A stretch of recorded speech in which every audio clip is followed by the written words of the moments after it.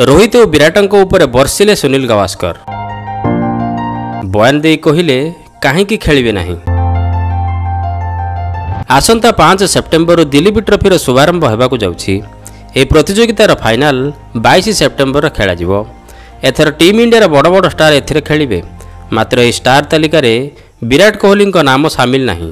ଯାହାକୁ ନେଇ little master Sunil Gavaskar ସେମାନଙ୍କ ଉପରେ ବର୍ଷିଛନ୍ତି।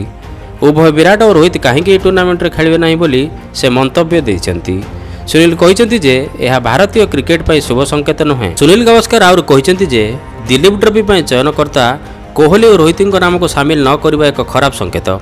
କାରଣ ଉଭୟ ବିରାଟ ରୋହିତ ବାଂଲାଦେଶ ବିପକ୍ଷରେ ଟେଷ୍ଟ ଖେଳିବା ପ୍ରାୟ ସୁନିଶ୍ଚିତ। ଜଣେ ଏହା କେବେ ମଧ୍ୟ ଚାହିଁବ ନାହିଁ ଯେ ଦୁଇ ଜଣ ଷ୍ଟାର ଖେଳାଳି ଟେଷ୍ଟ ସିରିଜ୍ ପୂର୍ବରୁ ପୂର୍ଣ୍ଣ ପ୍ରସ୍ତୁତି ନ କରନ୍ତୁ ଓ କମ୍ ଅଭ୍ୟାସରେ ମ୍ୟାଚ୍ ଖେଳନ୍ତୁ ବୋଲି ଗାଭାସ୍କର ପ୍ରକାଶ କରିଛନ୍ତି। ସେପଟେ ଯଶପ୍ରୀତ ବୁମରା ଦିଲ୍ଲୀପ ଟ୍ରଫି ନ ଖେଳିବା ନେଇ ଗାଭାସ୍କର ଜଣାଇଛନ୍ତି ଯେ ତାଙ୍କ ଉପରେ ଅଧିକ ଚାପ ନ ଦେବା ଓ ତାଙ୍କର ବ୍ୟାକ୍ ଇଞ୍ଜୁରୀ ସମସ୍ୟା ଏହାର କାରଣ।